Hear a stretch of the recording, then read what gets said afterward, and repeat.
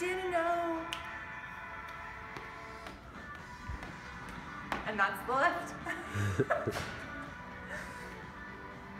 Did, are you still going? Yeah, you can go. Okay. All right, next we've got the dumbbell single arm row.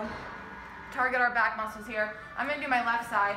So I'm gonna have my right hand and my right knee on the bench. Like this.